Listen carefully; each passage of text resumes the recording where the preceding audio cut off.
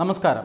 ജമ്മു കാശ്മീരിന്റെ പ്രത്യേക സംസ്ഥാന പദവി എടുത്തു കളഞ്ഞ് ജമ്മുവിനെയും ലഡാക്കിനെയും രണ്ടു ഭാഗങ്ങളായി രണ്ട് കേന്ദ്രഭരണ പ്രദേശങ്ങളായി മാറ്റിയ ചരിത്രപരമായ ഭരണഘടനയുടെ മുന്നൂറ്റി എഴുപതാം വകുപ്പിനെ അസാധുവാക്കി മാറ്റിയ ചരിത്രപരമായ പരിഷ്കാരത്തിനു ശേഷം ജമ്മു കാശ്മീരിന്റെ സ്ഥിതി ശാന്തമാണ് എന്ന് നമുക്കറിയാം. ആ ജമ്മു കാശ്മീരിലേക്ക് ഇന്ന് പ്രധാനമന്ത്രി നരേന്ദ്രമോദി എത്തുകയാണ്.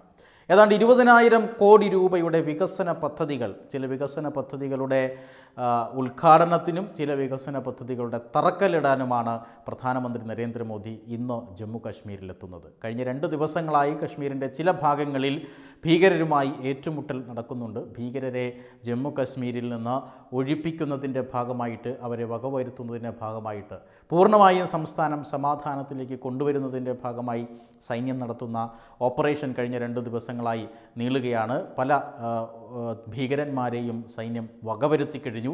ചില പോലീസ് ഓഫീസർമാർക്ക് ജീവൻ നഷ്ടമായി. ചിലർ വീരമൃത്യു വരിച്ചിട്ടുണ്ട്. അത്തരത്തിലുള്ള ഒരു സംഘർഷം ചെറിയ തോതിലുള്ള സംഘർഷം നടക്കുന്ന സമയത്താണ് പ്രധാനമന്ത്രി നരേന്ദ്രമോദി ഇന്ന് ജമ്മു കാശ്മീരിലെത്തുന്നത് പഞ്ചായത്തി രാജ് ദിനാചരണത്തിന്റെ ഭാഗമായുള്ള ചടങ്ങുകളിലാണ് പ്രധാനമന്ത്രി നരേന്ദ്രമോദി ഇന്ന് ജമ്മു കാശ്മീരിന്റെ വിവിധ പരിപാടികളിൽ പങ്കെടുക്കുക. പ്രധാനമന്ത്രി നരേന്ദ്രമോദി ഈ ഭരണഘടനയുടെ മുന്നൂറ്റി എഴുപതാം വകുപ്പ് എടുത്തു കളഞ്ഞതിന് ശേഷം ആദ്യമായാണ് ജമ്മു കാശ്മീരിലെത്തുന്നത് അതുകൊണ്ട് തന്നെ ജമ്മു കാശ്മീർ വലിയൊരു സുരക്ഷാ വലയത്തിനുള്ളിലാണ്. പ്രധാനമന്ത്രിയുടെ സന്ദർശനം പ്രമാണിച്ച് പ്രത്യേകിച്ചും ജമ്മു കാശ്മീരിൽ ഇത്തരം സുരക്ഷാ സംവിധാനങ്ങൾ വളരെയധികം വിപുലമാക്കിയിട്ടുണ്ട്. അതിനിടെ ജമ്മു കാശ്മീരിൽ അദ്ദേഹം പങ്കെടുക്കേണ്ടിയിരുന്ന വേദിക്ക് സമീപം അതായത് ജമ്മുവിന്റെ ഒരു പ്രാന്തപ്രദേശം എന്ന് തന്നെ പറയാവുന്ന ഒരു കൃഷിയിടത്തിൽ ചെറിയൊരു സ്ഫോടനമുണ്ടായിട്ടുണ്ട്. ഈ സ്ഫോടനത്തെ തുടർന്ന് സുരക്ഷാ പരിശോധന കർശനമാക്കിയിട്ടുണ്ട്. നിരവധി അടിയന്തിരമായ നിയന്ത്രണങ്ങൾ സംസ്ഥാനത്ത് ഉടൻ തന്നെ പ്രാബല്യത്തിൽ വന്നു കഴിഞ്ഞു. കാരണം നരേന്ദ്രമോദിയെ പോലുള്ള ഒരു വ്യക്തി കശ്മീർ സന്ദർശിക്കുകയാണ്. ചെറിയ സ്ഫോടനങ്ങൾ അത് എന്താണ് എന്ന് ഇതുവരെ സ്ഥിരീകരിച്ചിട്ടില്ല. അവിടെ ഒരു ചെറിയ സ്ഫോടനം നടന്നു. കൃഷിയിടത്തിലാണ് സ്ഫോടനം നടന്നത്. അത് ഏതെങ്കിലും തരത്തിലുള്ള ആയുധങ്ങൾ കൊണ്ടുള്ള സ്ഫോടനമാണോ അതോ ആ, ഉൽക്കാപതനം പോലുള്ള എന്തെങ്കിലുമാണോ എന്ന് സംശയിക്കുന്നുണ്ട്. ഉൽക്കാപതനമാകാനുള്ള സാധ്യതയാണ് ഇപ്പോൾ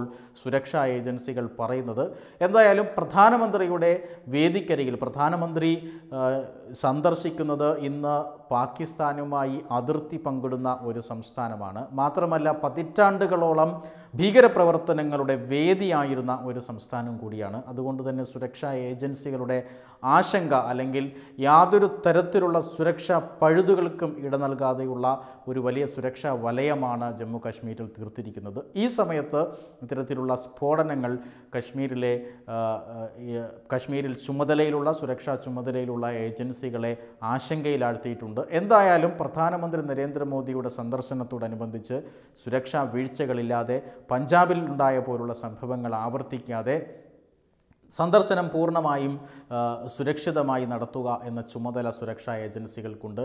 പ്രത്യേകിച്ചും പ്രധാനമന്ത്രി ഇന്ത്യൻ പ്രധാനമന്ത്രിയുടെ സുരക്ഷ ലോകോത്തരമായ സുരക്ഷയാണ് ഇന്ത്യൻ പ്രധാനമന്ത്രിക്ക് ഒരുക്കിയിരിക്കുന്നത്. പാകിസ്ഥാൻ ബോർഡറിൽ നിന്നും പാകിസ്ഥാന്റെ അതിർത്തി പ്രദേശത്ത് നിന്നും കിലോമീറ്ററുകൾ മാത്രം അകലെയാണ് ഇന്ന് പ്രധാനമന്ത്രിയുടെ പരിപാടികൾ നിശ്ചയിച്ചിട്ടുള്ളത്. അതുകൊണ്ട് തന്നെ സ്ഫോടനം എന്താണ് എന്നുള്ളത് സംബന്ധിക്കുന്ന കൂടുതൽ സ്ഥിരീകരണങ്ങൾ വരാനിരിക്കുന്നതേ ഉള്ളൂ ഏതായാലും അതൊരു ആ, ഉൽക്കാപതനമാണോ അല്ലെങ്കിൽ ഇടിമിന്നലുമായി ബന്ധപ്പെട്ട ഏതെങ്കിലും തരത്തിലുള്ള സ്ഫോടനമാണോ എന്നൊക്കെയാണ് പരിശോധിച്ചു വരുന്നത്.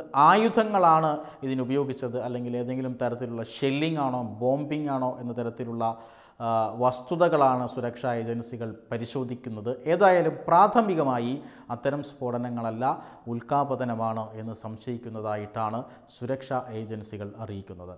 വെബ് ഡെസ്ക് തത്തുമയ്യ ന്യൂസ്.